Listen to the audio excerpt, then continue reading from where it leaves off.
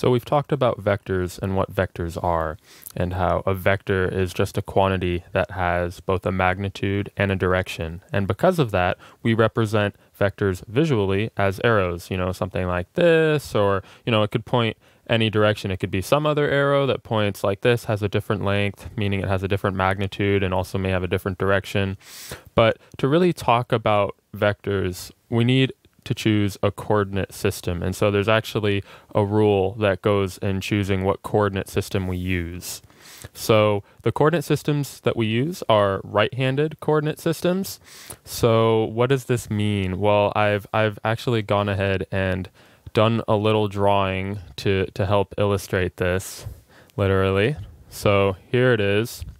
This is a hand that I drew.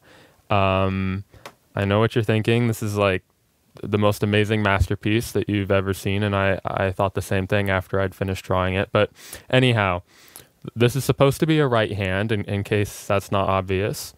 And um, this this right hand shows us what a right-handed coordinate system is. And and so as a side note, there are a lot of times um, in physics where um, you're going to be using your right hand to do what we call right hand rules of making your right hand do some shape or some maneuver to, to help you visualize what's going on. So you'll get used to doing like a couple of these different tricks with your right hand. But here, here's one of the first ones. So this is for choosing a coordinate system and to just keep in mind um, where, where the axes are supposed to point. So to do this, you just point your thumb straight up. You can like start with a fist and um, have your thumb pointing straight up, giving like a thumbs up. Then point your pointer finger straight away from you. So you've got like a capital L shape between your pointer finger and thumb. And then take your middle finger and point it straight away from your palm. And so all of your fingers should be at 90 degree angles to each other. And the point of this is to give the directions of the positive axes of a right handed coordinate system, right? So these are the axes. So your thumb is pointing in the direction, when you, when you make this shape, your thumb is pointing in the direction of the positive x-axis. Your pointer finger is pointing in the direction of the positive y-axis, and your middle finger is pointing in the direction of the positive z-axis. So to sort of represent this a little more, um, you know, without, without, with, less pictorially like this, um, this is really what we're going for. So this is a 3D right-handed coordinate system, and you know it's a right-handed coordinate system just because if you make this shape with your right hand, you can sort of tw- uh, twist your hand around uh, via your wrist until you get it so that your middle finger is pointing as the positive z axis here, and your pointer finger is pointing as the positive y, and your thumb is pointing as the positive x axis. So that's what we mean by a right handed coordinate system. We mean that you can make this shape with your right hand, with your fingers representing these positive, the directions of these positive axes. Um, and uh, so that, that's all a right handed coordinate system is. And all the coordinate systems that we're going to be using um, are going to be right-handed coordinate systems.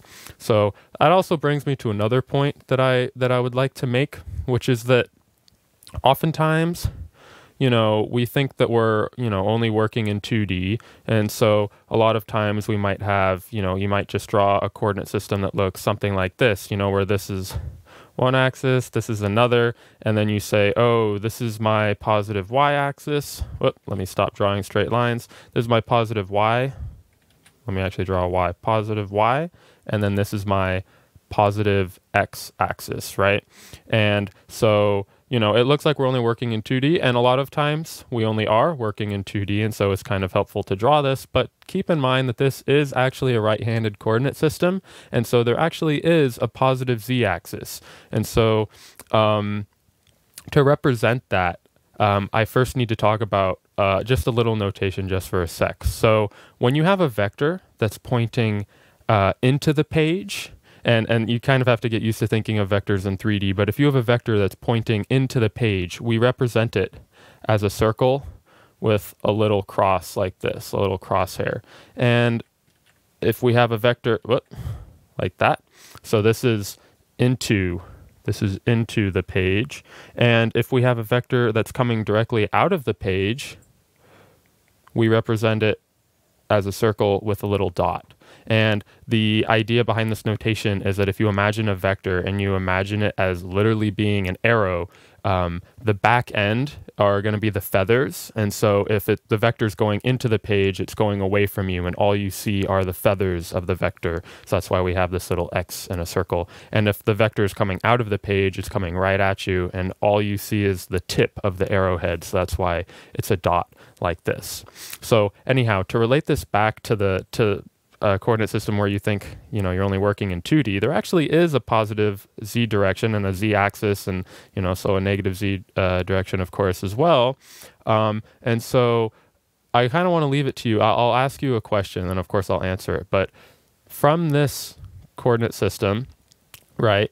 Um, which direction is the positive z-axis? And the trick to answering this question is to use that right-hand rule that I just that we just talked about. So um, I'm assuming that you've, you know, taken your right hand or maybe visually done it, but the positive z-axis here points out of the page, right? So, um, whoop, let me, so it points out of the page like this. So this is the direction of the positive z-axis, and you just get that by using that right-hand rule. So that's a that, that's kind of a point that I want to make is that a lot of times you think you're only working in 2D, but there actually is a, a third axis, oftentimes the z-axis, that is that is going on um, in, your problem. And another thing that I want to point out too is that even when you only draw the positive x and positive y directions like this, even that is still following the right hand rule that I just described up above. Um, because if you make that right hand rule shape, um, even if you ignore your middle finger, this coordinate system is still following that rule of the thumb pointing in the direction of the positive x-axis and the pointer finger pointing in the direction of the positive y-axis. Um, and so I want to do a little just a, a little more practice with this. And the reason why is because whenever you start working on a problem in, in physics, whenever you are, whenever the problem involves vectors, the first thing that you want to do is draw a coordinate system. Just pick a coordinate system. Once you pick it, then stick with it the entire way throughout the problem. So, um, and you always want to pick a right-handed coordinate system. So let's say that you picked a coordinate system and you decided to do the following with it. So there's sometimes where this is useful. So let's just do a quick example with this.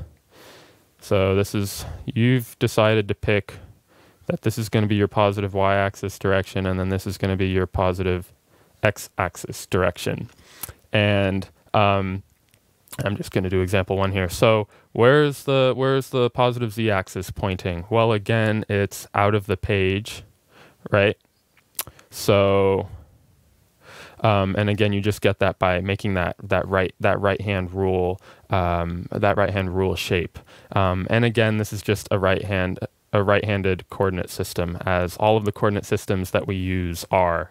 And I'll just do a second example just to kind of hammer this home.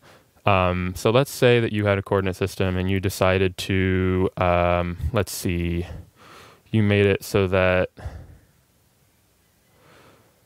right, you did something like this. And let's, let's draw it here. And let's say, for the sake of, um, let's say that you made this the positive z-axis, right? And then you made this the positive, what? The positive y-axis, right? So now tell me which direction the positive x-axis is in. And doing, doing the right-hand rule above, you again get that it's out of the page. The positive x-axis in this problem is out of the page. So I just want to emphasize that when you're doing a problem, always start by picking a coordinate system. Always draw these axes. You don't have to draw the the third dimension, the one going into or out of the page, um, if the problem doesn't require it. But I just want to keep it, you, you know, it's important to keep in mind that even when you only draw the, you know, like an X or Y axis, you're only talking about a coordinate system in two dimensions, it's still following the, that right hand rule. You're just ignoring one of the fingers of that right hand rule, even if it's only 2D. So anyway, and you, and you can always rotate your coordinate system, you know, you can take your right hand and, um, swivel it about your wrist and you know you can so that's why you can rotate the coordinate system. You can do pretty much anything you want with the coordinate system you pick for your problem. You just have to keep in mind that that coordinate system has to still obey the right hand rule because we always are working with right handed coordinate systems